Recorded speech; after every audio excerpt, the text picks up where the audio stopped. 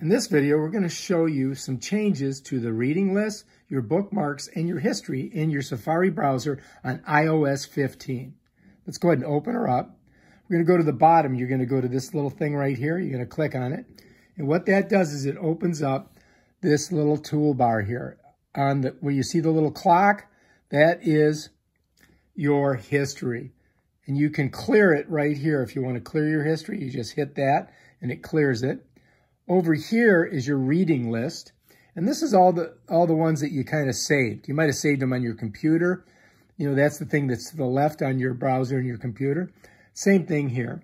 And then over here is uh, your favorites. And you can see I only got one thing in there. Now, if I wanted to delete that, I could go like this and it would be deleted. Now I got nothing in my favorites. When I'm done, I just hit that. Bam, done. And it's the same thing here. Like if I go Let's say I go here and I want to get rid of something in here. Um, are you? I'm going to get rid of this. I just pull it over and it's gone. Bam, done. Let's go in here. If I wanted to get rid of one of these, I could pull it like that and just get rid of one.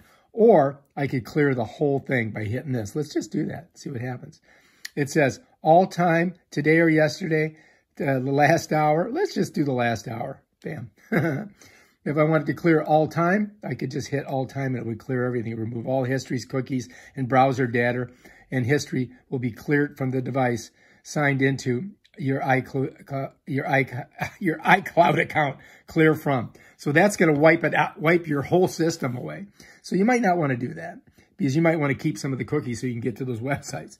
But I'm going to go ahead and hit that. And that's basically it. Now let's go back here. There we are in tabs again. And this is my start page.